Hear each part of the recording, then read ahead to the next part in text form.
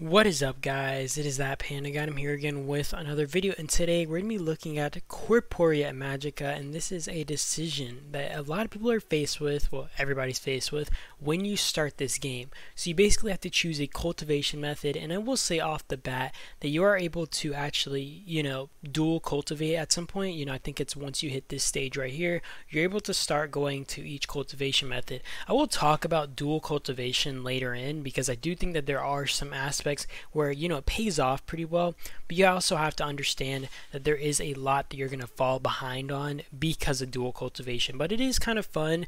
And you know I do have an account just for dual cultivating because I find it you know to be somewhat interesting and I do want to kind of experiment around with it.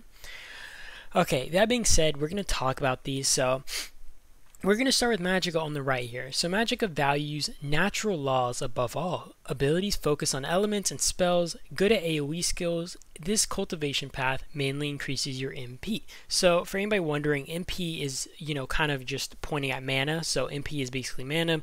And increasing your mana is good for a lot of reasons. So I'll kind of actually show you guys an example of my favorite thing about um, Magicka, at least at this point in the game. So Magicka, for example, has this spiritual wall or has shield type, you know, uh, effects, and you kind of look at a skill like this.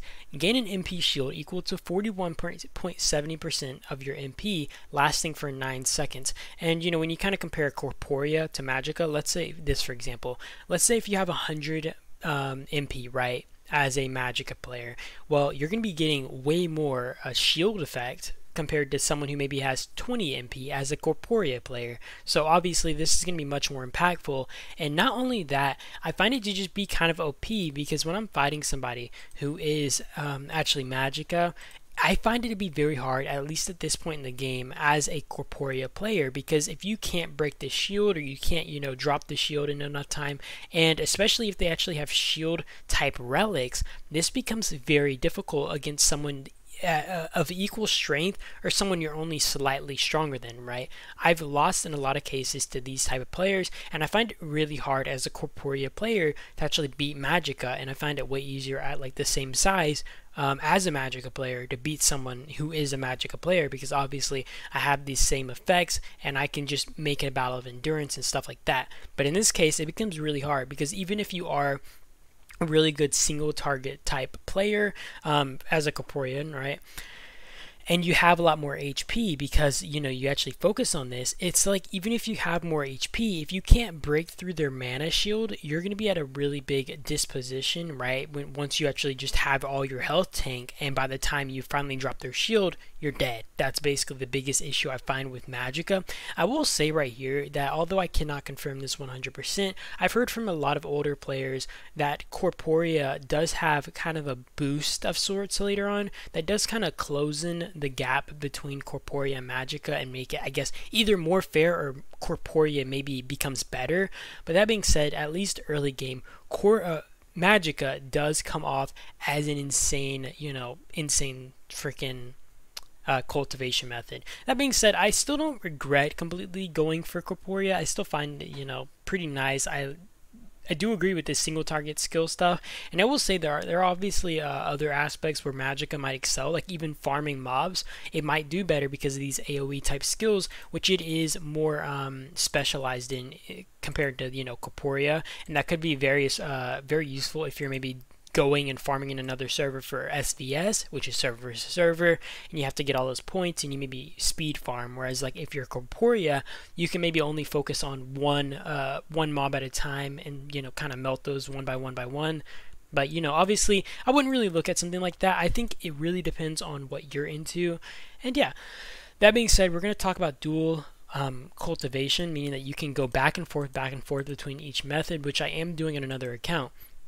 So how I would how I personally do this is I would break through to nascent soul level, for example, with like maybe Corporia, and then I go to Magicka, and then I break through to nascent soul level, and I kind of keep these on around the same level.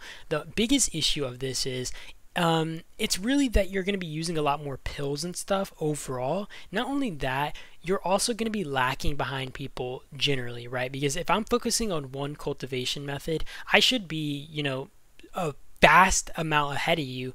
Like if, if you just hit incarnation stage, I might already be at void break, for an example, right? Or I might be incarnation late stage. I will say that the thing is, if you do have dual cultivation and you are able to do this, and let's say you have maybe both of your um, stages at incarnation, if you're early incarnation or maybe even late incarnation, if you find somebody at the similar stage, you're almost always bound to kind of crush them because you have both these cultivation methods, which just boost you like really hard you get you get a much bigger boost. And if you meet somebody who has only like focused on one thing but is at the same stage as you it's really hard for these players to kind of overcome this wall that you've built because you have kind of built up a really good foundation. But it is still hard for you to kind of beat somebody who's on a higher cultivation level. So in a lot of cases I don't find this worth it. And if you are to try this I actually would prefer or I would recommend you to try it more so in an all I actually have seen a whale do this before and you know he's doing it right now, so I actually have to, you know, kind of keep a lookout to see how far that gets him and if it becomes really painful for him later game. But yeah, I am looking forward to that, you know, and I just wanted to dabble in that a bit.